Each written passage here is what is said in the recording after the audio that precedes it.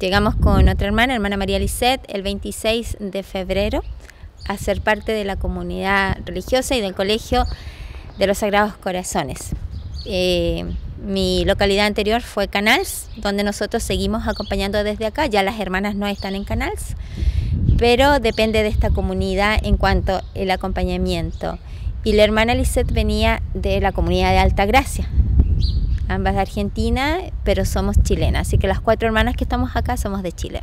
Bueno, eh, no está viendo más hermanas argentinas, aparentemente son las que son chilenas. Las hermanas argentinas en su mayoría son las hermanas que ya han hecho mucho camino. Entonces, ciertamente la vida consagrada hay un bajo de compromiso, querer seguir de forma más radical esta propuesta de vida y por ahora hay más chilenas, pero creemos que al corto tiempo, al corto tiempo, porque es una decisión de instituto, van a venir de África, de India, de Perú, porque hacia allá vamos, hacia una nueva configuración de vida consagrada. Eh, ¿Hay más vocaciones por allá? Eh, hay más vocaciones jóvenes porque hoy las hermanas mayores ya partieron al encuentro del Padre, entonces el promedio de edad en Chile es bajo, es joven, a diferencia de las hermanas que pertenecen a nuestra provincia religiosa.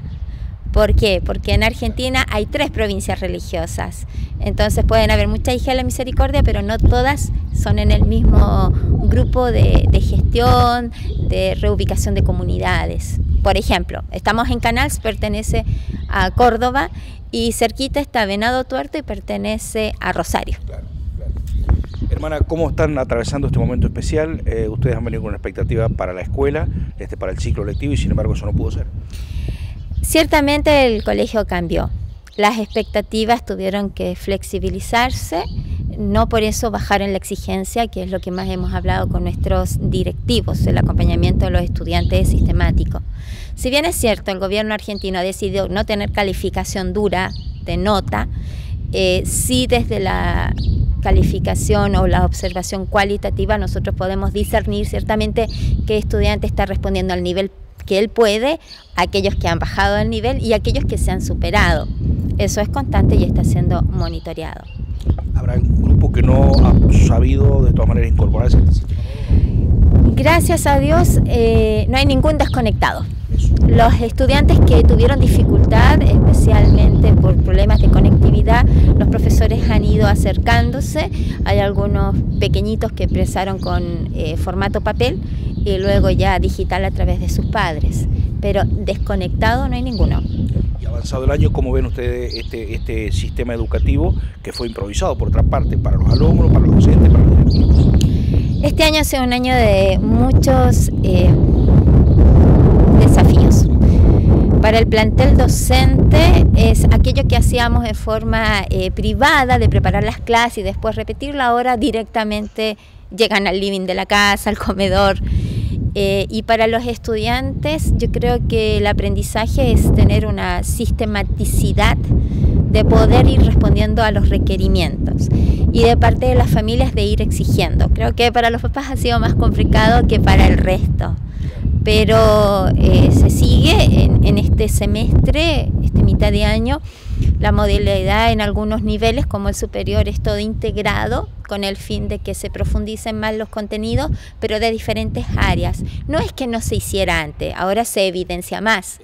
Esa es la gran diferencia. Pero todos tienen que aprender. Hay otra parte que no es menor y que tiene que ver que esto es una escuela pública pero de gestión privada y cómo están, eh, si bien no hay actividad presencial, se sigue trabajando, la escuela sigue andando, este, cómo está el pago de la cuota por parte de los padres. Primero sacar de, la cabeza eso de que el colegio de las hermanas. Nosotras somos todas profesionales, ya fuimos al colegio, este colegio es de Villa Huidobro, no es nuestro, es para la comunidad. En segundo lugar, con respecto al tema duro, que es cuota, quien no trabaja no come, eh, el colegio sigue funcionando, la gente de administración sigue viniendo, la gente de maestranza viene con diferentes tipos de horario, pero viene. Trabajos fuertes que estamos haciendo, recuperando algunas bajadas de agua, aprovechando los cambios, eh, yendo más al detalle que durante el año no se puede, pero el trabajo se hace y eso hay que pagarlo y vamos conversando con nuestros proveedores, vamos pidiendo tiempo. Eh, preocupación sí en algunos niveles, hay, personas en el nivel superior que están en proceso de titulación, que lamentablemente tampoco nosotros ni nadie tiene respuesta de decir tal día rinde, tal día termina, porque eso no depende de la localidad, depende del ministerio. Pero son preocupaciones que estamos atentos y hay que ponerse al día y hay que pagar porque después va a ser más difícil. Sabemos que para todos es complicado, o sea, esta recesión económica mundial nos llega a todos, pero hay compromisos asumidos. Y frente a eso, bueno, vamos agradeciendo muchísimo a aquel que paga de una cuota, el que paga toda la cuota. El colegio es de ustedes y hay que mantenerlo y hay que responder a obligaciones. Si bien es cierto, el gobierno de la nación ha presupuestado algunas ayudas, a nosotros nos han llegado eh, tres montos de nueve que el colegio paga menores, pero se agradece infinitamente. El colegio no tiene deudas hasta hoy, puedo decir.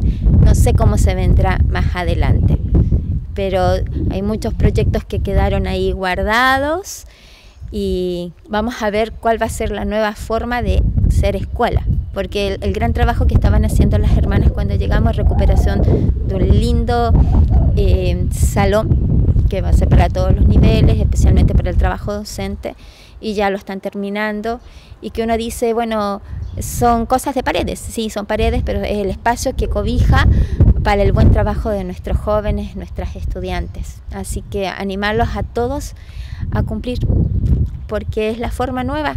Esto se vino a quedar, esto no va a cambiar. Aunque estemos en aula, los trabajos seguramente van a seguir siendo por línea, vamos a gastar menos papel, más, vamos a cuidar más arbolitos. Hay que buscar también lo positivo. Los papás se van eh, penetrando de lo que están aprendiendo sus hijos, no solo se informan. Entonces creo que desde ahí ha sido un ganar.